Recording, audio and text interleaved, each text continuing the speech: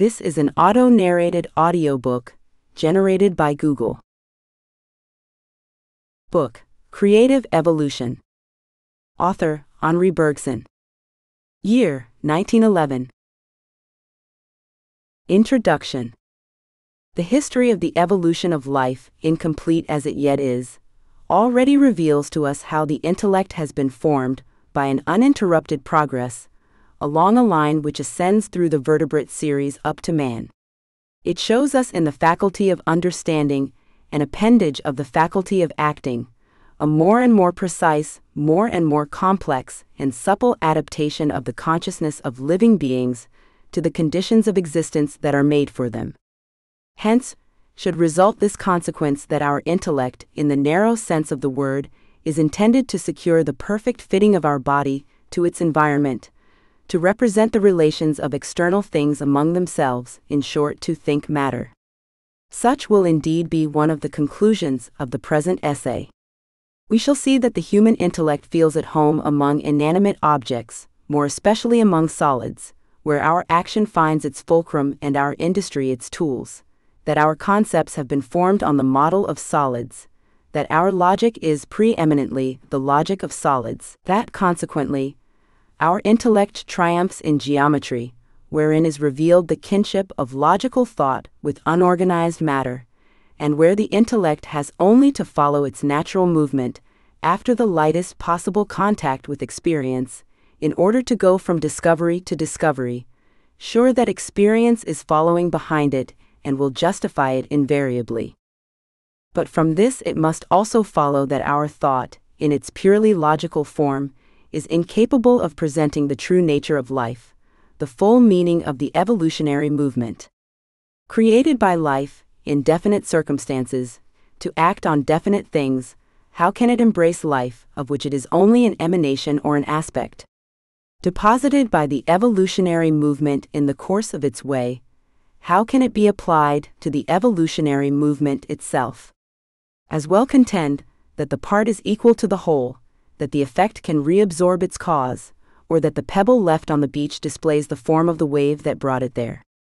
In fact, we do indeed feel that not one of the categories of our thought unity, multiplicity, mechanical causality, intelligent finality, etc. applies exactly to the things of life. Who can say where individuality begins and ends, whether the living being is one or many, whether it is the cells which associate themselves into the organism or the organism which dissociates itself into cells. In vain we force the living into this or that one of our molds. All the molds crack. They are too narrow, above all too rigid for what we try to put into them. Our reasoning, so sure of itself among things inert, feels ill at ease on this new ground. It would be difficult to cite a biological discovery due to pure reasoning. And most often, when experience has finally shown us how life goes to work to obtain a certain result, we find its way of working is just that of which we should never have thought. Yet evolutionist philosophy does not hesitate to extend to the things of life the same methods of explanation which have succeeded in the case of unorganized matter. It begins by showing us in the intellect a local effect of evolution, a flame, perhaps accidental, which lights up the coming and going of living beings in the narrow passage open to their action. And lo, forgetting what it has just told us, it makes of this lantern glimmering in a tunnel a sun which can illuminate the world. Boldly it proceeds with the powers of conceptual thought alone, to the ideal reconstruction of all things, even of life. True, it hurtles in its course against such formidable difficulties, it sees its logic end in such strange contradictions that it very speedily renounces its first ambition. It is no longer reality itself, it says, that it will reconstruct, but only an imitation of the real, or rather a symbolical image.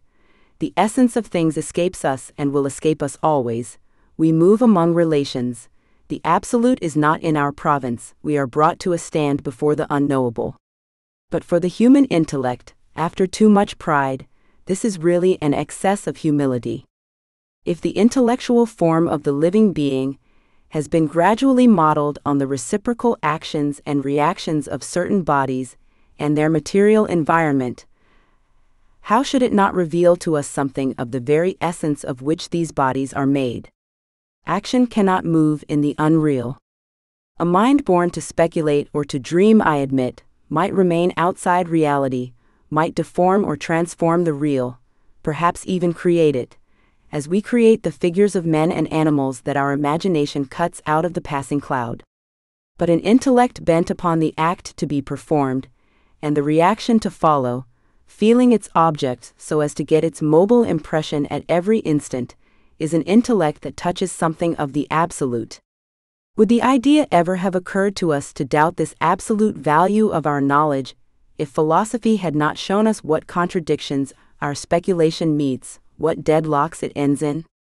But these difficulties and contradictions all arise from trying to apply the usual forms of our thought to objects with which our industry has nothing to do, and for which, therefore, our molds are not made.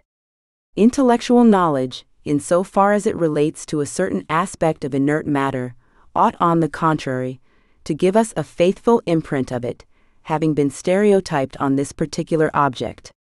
It becomes relative only if it claims, such as it is, to present to us life, that is to say, the maker of the stereotype plate. Must we then give up fathoming the depths of life? Must we keep to that mechanistic idea of it which the understanding will always give us? an idea necessarily artificial and symbolical, since it makes the total activity of life shrink to the form of a certain human activity which is only a partial and local manifestation of life, a result or byproduct of the vital process? We should have to do so indeed, if life had employed all the psychical potentialities it possesses in producing pure understandings, that is to say, in making geometricians but the line of evolution that ends in man is not the only one. On other paths, divergent from it, other forms of consciousness have been developed, which have not been able to free themselves from external constraints or to regain control over themselves, as the human intellect has done, but which nonetheless also express something that is immanent and essential in the evolutionary movement. Suppose these other forms of consciousness brought together and amalgamated with intellect, would not the result be a consciousness as wide as life? And such a consciousness, turning around suddenly against the push of life which it feels behind, would have a vision of life complete, would it not? Even though the vision were fleeting.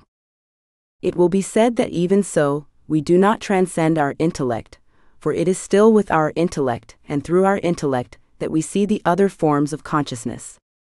And this would be right if we were pure intellects, if there did not remain around our conceptual and logical thought a vague nebulosity made of the very substance out of which has been formed the luminous nucleus that we call the intellect. Therein reside certain powers that are complementary to the understanding, powers of which we have only an indistinct feeling when we remain shut up in ourselves, but which will become clear and distinct when they perceive themselves at work, so to speak, in the evolution of nature. They will thus learn what sort of effort they must make to be intensified and expanded in the very direction of life. This amounts to saying that theory of knowledge and theory of life seem to us inseparable. A theory of life that is not accompanied by a criticism of knowledge is obliged to accept, as they stand, the concepts which the understanding puts at its disposal. It can but enclose the facts, willing or not, in pre existing frames which it regards as ultimate. It thus obtains a symbolism which is convenient, perhaps even necessary to positive science, but not a direct vision of its object. On the other hand, a theory of knowledge which does not replace the intellect in the general evolution of life will teach us neither how the frames of knowledge have been constructed nor how we can enlarge or go beyond them. It is necessary that these two inquiries, theory of knowledge and theory of life, should join each other and by a circular process push each other on unceasingly. Together they may solve by a method more sure, brought nearer to experience, the great problems that philosophy poses. For if they should succeed in their common enterprise, they would show us the formation of the intellect, and thereby the genesis of that matter of which our intellect traces the general configuration they would dig to the very root of nature and of mind. They would substitute for the false evolutionism of Spencer, which consists in cutting up present reality, already evolved, into little bits no less evolved, and then recomposing it with these fragments, thus positing in advance everything that is to be explained. A true evolutionism, in which reality would be followed in its generation and its growth. But a philosophy of this kind will not be made in a day. Unlike the philosophical systems properly so called, each of which was the individual work of a man of genius, and sprang up as a whole, to be taken or left, it will only be built up by the collective and progressive effort of many thinkers, of many observers also, completing, correcting, and improving one another. So the present essay does not aim at resolving at once the greatest problems. It simply desires to define the method and to permit a glimpse on some essential points of the possibility of its application. Its plan is traced by the subject itself. In the first chapter, we try on the evolutionary progress the two ready made garments that our understanding puts at our disposal mechanism and finality. We show that they do not fit, neither the one nor the other, but that one of them might be recut and resewn, and in this new form fit less badly than the other. In order to transcend the point of view of the understanding, we try, in our second chapter, to reconstruct the main lines of evolution along which life has traveled by the side of that which has led to the human intellect. The intellect is thus brought back to its generating cause, which we then have to grasp in itself and follow in its movement. It is an effort of this kind that we attempt, incompletely indeed, in our third chapter. A fourth and last part is meant to show how our understanding itself, by submitting to a certain discipline, might prepare a philosophy which transcends it. For that, a glance over the history of systems became necessary, together with an analysis of the two great illusions to which, as soon as it speculates on reality in general, the human understanding is exposed. Chapter 1 The Evolution of Life, Mechanism and Teleology.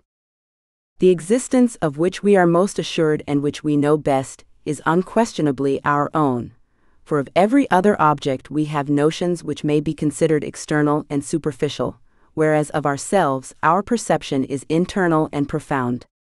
What then do we find? In this privileged case, what is the precise meaning of the word exist? Let us recall here briefly the conclusions of an earlier work. I find first of all that I pass from state to state. I am warm or cold, I am merry or sad, I work or I do nothing, I look at what is around me or I think of something else. Sensations, feelings, volitions, ideas.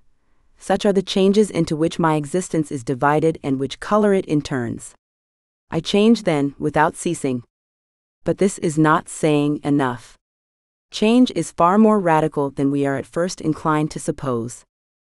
For I speak of each of my states as if it formed a block and were a separate whole. I say indeed that I change, but the change seems to me to reside in the passage from one state to the next.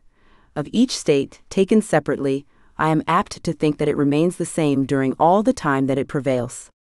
Nevertheless, a slight effort of attention would reveal to me that there is no feeling, no idea, no volition, which is not undergoing change every moment. If a mental state ceased to vary, its duration would cease to flow. Let us take the most stable of internal states, the visual perception of a motionless external object. The object may remain the same, I may look at it from the same side, at the same angle, in the same light. Nevertheless, the vision I now have of it differs from that which I have just had, even if only because the one is an instant older than the other. My memory is there, which conveys something of the past into the present. My mental state, as it advances on the road of time, is continually swelling with the duration which it accumulates. It goes on increasing, rolling upon itself as a snowball on the snow. Still more is this the case with states more deeply internal, such as sensations, feelings, desires, etc., which do not correspond, like a simple visual perception, to an unvarying external object. But it is expedient to disregard this uninterrupted change, and to notice it only when it becomes sufficient to impress a new attitude on the body, a new direction on the attention. Then and then only, we find that our state has changed. The truth is that we change without ceasing, and that the state itself is nothing but change. This amounts to saying that there is no essential difference between passing from one state to another and persisting in the same state. If the state which remains the same is more varied than we think, on the other hand, the passing from one state to another resembles, more than we imagine, a single state being prolonged, the transition is continuous. But just because we close our eyes to the unceasing variation of every psychical state, we are obliged, when the change has become so considerable as to force itself on our attention, to speak as if a new state were placed alongside the previous one. Of this new state, we assume that it remains unvarying in its turn, and so on endlessly. The apparent discontinuity of the psychical life is then due to our attention being fixed on it by a series of separate acts. Actually, there is only a gentle slope but in following the broken line of our acts of attention, we think we perceive separate steps. True, our psychic life is full of the unforeseen. A thousand incidents arise, which seem to be cut off from those which precede them, and to be disconnected from those which follow. Discontinuous though they appear, however, in point of fact they stand out against the continuity of a background on which they are designed, and to which indeed they owe the intervals that separate them. They are the beats of the drum which break forth here and there in the symphony. Our attention fixes on them because they interest it more, but each of them is borne by the fluid mass of our whole psychical existence. Each is only the best illuminated point of a moving zone which comprises all that we feel or think or will, all, in short, that we are at any given moment. It is this entire zone which in reality makes up our state. Now, states thus defined cannot be regarded as distinct elements. They continue each other in an endless flow. But, as our attention has distinguished and separated them artificially, it is obliged next to reunite them by an artificial bond. It imagines, therefore, a formless ego, indifferent and unchangeable, on which it threads the psychic states which it has set up as independent entities. Instead of a flux of fleeting shades merging into each other, it perceives distinct and, so to speak, solid colors, set side by side like the beads of a necklace. It must perforce then suppose a thread also itself solid to hold the beads together. But if this colorless substratum is perpetually colored by that which covers it, it is for us in its indeterminateness, as if it did not exist, since we only perceive what is colored, or in other words, psychic states. As a matter of fact, this substratum has no reality, it is merely a symbol intended to recall unceasingly to our consciousness the artificial character of the process by which the attention places clean cut states side by side, where actually there is a continuity which unfolds. If our existence were composed of separate states with an impassive ego to unite them, for us there would be no duration. For an ego which does not change does not endure and a psychic state which remains the same so long as it is not replaced by the following state does not endure either. Vain, therefore, is the attempt to range such states beside each other on the ego, supposed to sustain them. Never can these solids strung upon a solid make up that duration which flows. What we actually obtain in this way is an artificial imitation of the internal life, a static equivalent which will lend itself better to the requirements of logic and language, just because we have eliminated from it the element of real time. But as regards the psychical life unfolding beneath the symbols which conceal it, we readily perceive that time is just the stuff it is made of. There is, moreover, no stuff more resistant nor more substantial. For our duration is not merely one instant replacing another. If it were, there would never be anything but the present no prolonging of the past into the actual, no evolution, no concrete duration. Duration is the continuous progress of the past, which gnaws into the future, and which swells as it advances. And as the past grows without ceasing, so also there is no limit to its preservation. Memory, as we have tried to prove, is not a faculty of putting away recollections in a drawer or of inscribing them in a register. There is no register, no drawer, there is not even properly speaking a faculty for a faculty works intermittently, when it will or when it can, whilst the piling up of the past upon the past goes on without relaxation. In reality, the past is preserved by itself automatically. In its entirety, probably, it follows us at every instant. All that we have felt, thought, and willed from our earliest infancy is there, leaning over the present which is about to join it, pressing against the portals of consciousness that would fain leave it outside. The cerebral mechanism is arranged just so as to drive back into the unconscious almost the whole of this past, and to admit beyond the threshold only that which can cast light on the present situation or further the action now being prepared, in short, only that which can give useful work. At the most, a few superfluous recollections may succeed in smuggling themselves through the half open door. These memories, messengers from the unconscious, remind us of what we are dragging behind us unawares. But even though we may have no distinct idea of it, we feel vaguely that our past remains present to us. What are we, in fact? What is our character if not the condensation of the history that we have lived from our birth, nay, even before our birth, since we bring with us prenatal dispositions? Doubtless we think with only a small part of our past, but it is with our entire past, including the original bent of our soul, that we desire, will, and act. Our past, then, as a whole, is made manifest to us in its impulse. It is felt in the form of tendency, although a small part of it only is known in the form of idea. From this survival of the past, it follows that consciousness cannot go through the same state twice. The circumstances may still be the same, but they will act no longer on the same person, since they find him at a new moment of his history. Our personality, which is being built up each instant with its accumulated experience, changes without ceasing. By changing, it prevents any state, although superficially identical with another, from ever repeating it in its very depth. That is why our duration is irreversible.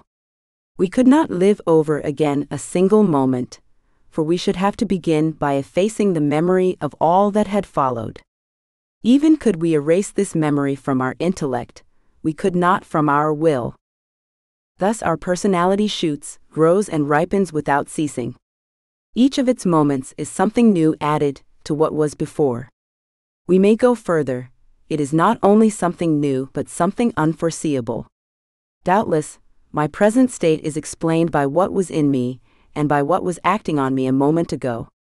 In analyzing it, I should find no other elements. But even a superhuman intelligence would not have been able to foresee the simple, indivisible form which gives to these purely abstract elements their concrete organization. For to foresee consists of projecting into the future what has been perceived in the past, or of imagining for a later time a new grouping in a new order of elements already perceived. But that which has never been perceived, and which is at the same time simple, is necessarily unforeseeable. Now, such is the case with each of our states, regarded as a moment in a history that is gradually unfolding. It is simple, and it cannot have been already perceived, since it concentrates in its indivisibility all that has been perceived and what the present is adding to it besides. It is an original moment of a no less original history. The finished portrait is explained by the features of the model, by the nature of the artist, by the colors spread out on the palette. But even with the knowledge of what explains it, no one, not even the artist, could have foreseen exactly what the portrait would be, for to predict it would have been to produce it before it was produced, an absurd hypothesis which is its own refutation. Even so, with regard to the moments of our life, of which we are the artisans. Each of them is a kind of creation. And just as the talent of the painter is formed or deformed, in any case is modified, under the very influence of the works he produces, so each of our states, at the moment of its issue, modifies our personality, being indeed the new form that we are just assuming. It is then right to say that what we do depends on what we are, but it is necessary to add also that we are, to a certain extent, what we do, and that we are creating ourselves continually. This creation of self by self is the more complete, the more one reasons on what one does. For reason does not proceed in such matters as in geometry, where impersonal premises are given once for all, and an impersonal conclusion must perforce be drawn. Here, on the contrary, the same reasons may dictate to different persons, or to the same person at different moments, acts profoundly different, although equally reasonable. The truth is that they are not quite the same reasons, since they are not those of the same person, nor of the same moment. That is why we cannot deal with them in the abstract, from outside, as in geometry, nor solve for another the problems by which he is faced in life. Each must solve them from within, on his own account. But we need not go more deeply into this. We are seeking only the precise meaning that our consciousness gives to this word exist, and we find that, for a conscious being, to exist is to change, to change is to mature, to mature is to go on creating oneself endlessly. Should the same be said of existence in general? A material object, of whatever kind, presents opposite characters to those which we have just been describing. Either it remains as it is, or else, if it changes under the influence of an external force, our idea of this change is that of a displacement of parts which themselves do not change. If these parts took to changing, we should split them up in their turn. We should thus descend to the molecules of which the fragments are made, to the atoms that make up the molecules, to the corpuscles that generate the atoms, to the imponderable, within which the corpuscle is perhaps a mere vortex. In short, we should push the division or analysis as far as necessary. But we should stop only before the unchangeable. Now, we say that a composite object changes by the displacement of its parts. But when a part has left its position, there is nothing to prevent its return to it. A group of elements which has gone through a state can therefore always find its way back to that state, if not by itself, at least by means of an external cause able to restore everything to its place. This amounts to saying that any state of the group may be repeated as often as desired, and consequently that the group does not grow old. It has no history. Thus nothing is created therein, neither form nor matter. What the group will be is already present in what it is, provided what it is includes all the points of the universe with which it is related. A superhuman intellect could calculate, for any moment of time, the position of any point of the system in space. And as there is nothing more in the form of the whole than the arrangement of its parts, the future forms of the system are theoretically visible in its present configuration. All our belief in objects, all our operations on the systems that science isolates, rest in fact on the idea that time does not bite into them. We have touched on this question in an earlier work, and shall return to it in the course of the present study. For the moment, we will confine ourselves to pointing out that the abstract time t attributed by science to a material object or to an isolated system consists only in a certain number of simultaneities or more generally of correspondences, and that this number remains the same, whatever be the nature of the intervals between the correspondences. With these intervals, we are never concerned when dealing with inert matter, or if they are considered, it is in order to count therein fresh correspondences, between which again we shall not care what happens. Common sense, which is occupied with detached objects, and also science, which considers isolated systems, are concerned only with the ends of the intervals and not with the intervals themselves. Therefore, the flow of time might assume an infinite rapidity. The entire past, present, and future of material objects, or of isolated systems, might be spread out all at once in space, without there being anything to change either in the formulae of the scientist or even in the language of common sense. The number t would always stand for the same thing. It would still count the same number of correspondences between the states of the objects or systems and the points of the line ready drawn, which would be then the course of time. Yet succession is an undeniable fact, even in the material world. Though our reasoning on isolated systems may imply that their history, past, present, and future, might be instantaneously unfurled like a fan, this history, in point of fact, unfolds itself gradually, as if it occupied a duration like our own. If I want to mix a glass of sugar and water, I must willy nilly wait until the sugar melts. This little fact is big with meaning. For here, the time I have to wait is not that mathematical time which would apply equally well to the entire history of the material world. We hope you enjoyed this preview. To continue listening to this audiobook on Google Play Books, use the link in the video description.